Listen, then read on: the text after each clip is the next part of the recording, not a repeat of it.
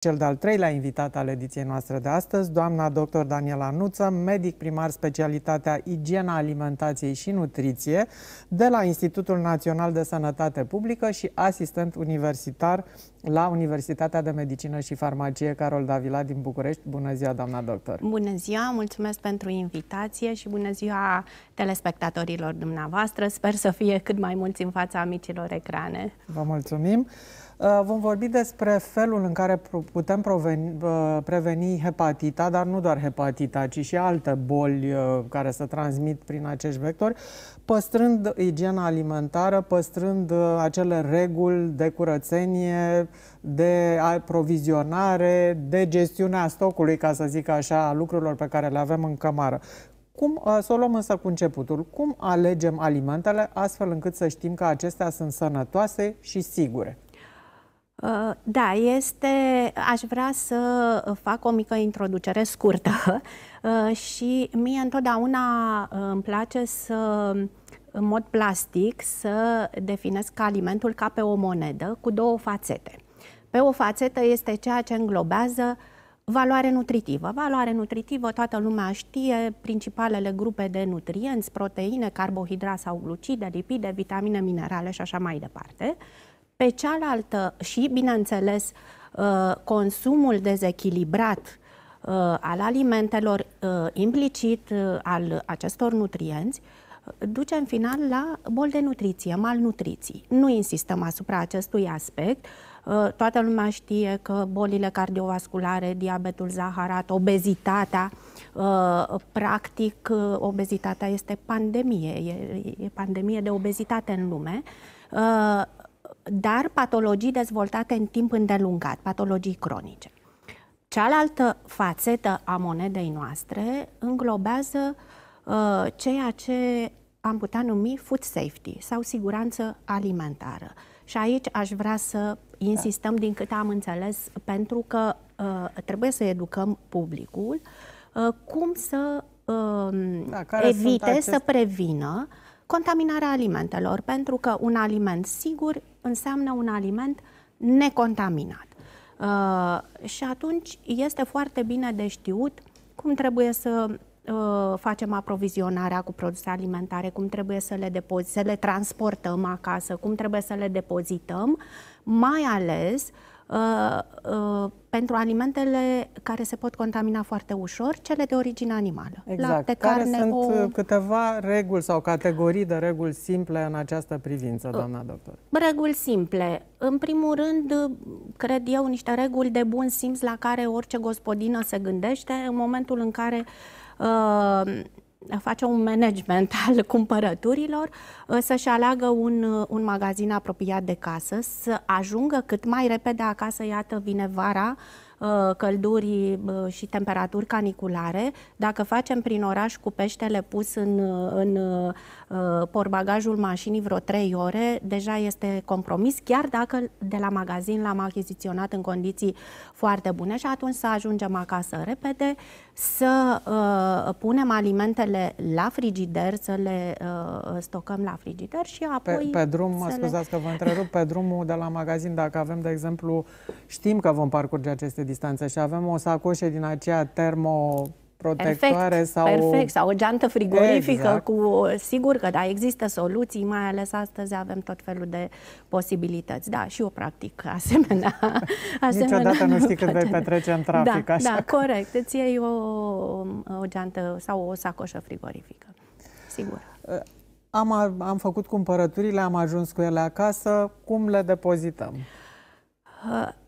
Acum, sunt niște reguli uh, în industria alimentară, deci cei care produc, servesc alimente către publicul larg, trebuie să se supună legislației existente la nivelul Uniunii Europene, legislației comunitare. Este extrem de stufoasă această legislație uh, și trebuie foarte bine însușită de către toți operatorii din sectorul alimentar și aplicată. Uh, practic, dacă nu, ei nu fac aceste lucruri, sunt uh, uh, sunt pedepsiți, sunt amendați, unele unități pot fi închise când se încalcă reguli grave. Ei, acasă la noi nu vine nici, niciun fel de autoritate să ne dea amendă dacă n-am făcut corect ceva. Dar este bine ca toată lumea, în momentul în care uh, începe să pregătească mâncarea, că este uh, mama, că este tata, uneori bărbații sunt mult mai, mult mai pricepuți la așa ceva, să respectăm niște reguli elementare, bineînțeles, începând cu spălatul mâinilor, clar, nu ai voie să uh, intri și să pui alimentele și să te apuci să prepari mâncarea fără să te speli pe mâini. De asemenea, este foarte bine să fim atenți la ustensilele pe care le, pe care le utilizăm. Uh, și, în general, pentru a evita acea contaminare încrucișată, cross-contamination uh, se numește, este bine totuși, nu putem face ca într-un restaurant mare să avem blaturi de Diferite, lemn pentru fie, da. pentru pește, pentru carne, pentru brânză și așa mai departe, dar este bine când trecem de la o categorie de aliment la alta să spălăm ustensilele, cuțitul, de exemplu, cu care am feliat carnea pentru friptură și apoi ne gândim, nu știu, să punem și niște pește pe, la preparat, să-l spălăm și apoi, abia apoi să trecem la următorul produs. Deci cuțitul, blatul pe care blatul, lucrăm, mâinile noastre... da, toate acestea și de asemenea, pentru că tot am vorbit despre contaminarea încrucișată, ar fi bine ca și în frigider să avem grijă să Separăm. nu... Da, carnea pe un raft, legumele, fructele, uh, chiar prin structura frigiderului există acea legum, da. cutie da. sertar. Uh, și aici, dacă se poate, o mențiune aș atrage atenția asupra ouălor. Uh, ouăle uh, pot fi, există riscul contaminării cu salmonela, mai ales pentru ouăle de rață și de gâscă. Tocmai de aceea în România, în consumul public și colectiv, este, este interzis acest consum de ouă de rață și de gâscă. Mama întreabă rudele, prietenii, măi, dar eu vreau să mănânc un ou de rață acasă poți să-ți prepari tu acasă, dar mare grijă să-l fierbem foarte mult timp, 10-15 minute, pentru în cazul în care uh, există riscul contaminării să fie distrusă salmonela și de asemenea tot un sfat practic pentru gospodină în momentul în care uh, Uh, uh, primesc de la, uh, din mediul rural, de la mamă, mătușă, când provizii. merge la țară, provizii exact, pentru că la noi chiar este un obicei bun, de altfel. Um, înainte de a pune ouăle în frigider, chiar dacă sunt de găină, să, să le spele puțin și cu ce folosește pentru uh, vasele. Deci nu e niciun pericol nu, să nu, ne să le spele, potrăvim, le și apoi le, le clătim bine exact, și le uscăm. Exact, asta e sfatul meu.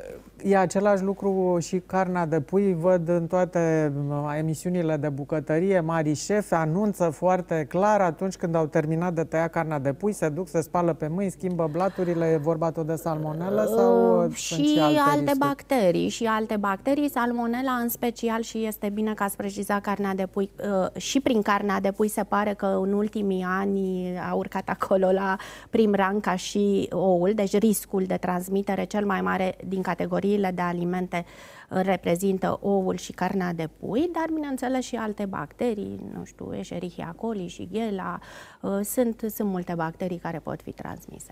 Doamna doctor, România aruncă anual o cantitate, nici nu mi-a venit să cred când am citit-o, 2,55 milioane de tone de mâncare, în special mâncare gătită, fructe și legume.